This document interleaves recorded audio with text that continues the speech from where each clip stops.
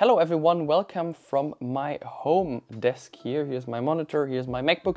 Today I would like to show you how you can format your external hard drive. In this case, I'm using this one here. That's the LaCie Rugged USB-C, five terabytes, which was cheaper than the four terabytes. Link is listed in the video description below.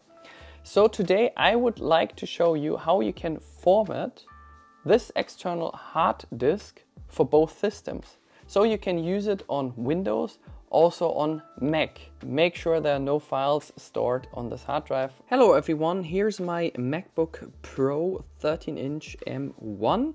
Make sure you tap on Command and Space at the same time and type in disk and there you will select the first point which says disk utility.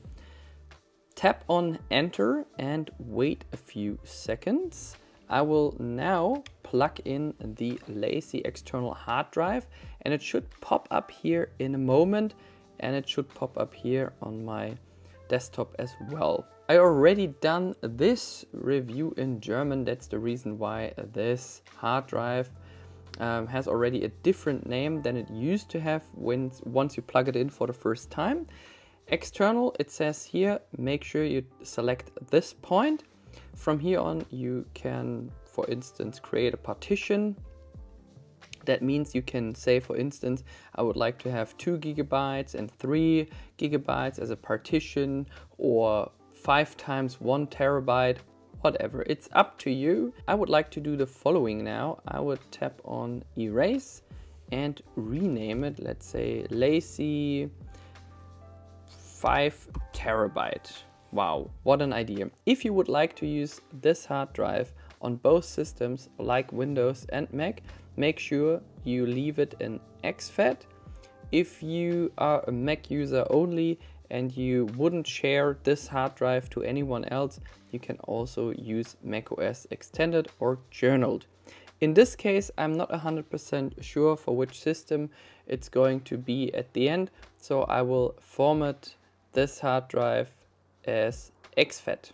Tap on erase, it takes a few moments, shouldn't take too long. The more files are stored on this external hard drive, the longer this process will take. However, it's done now.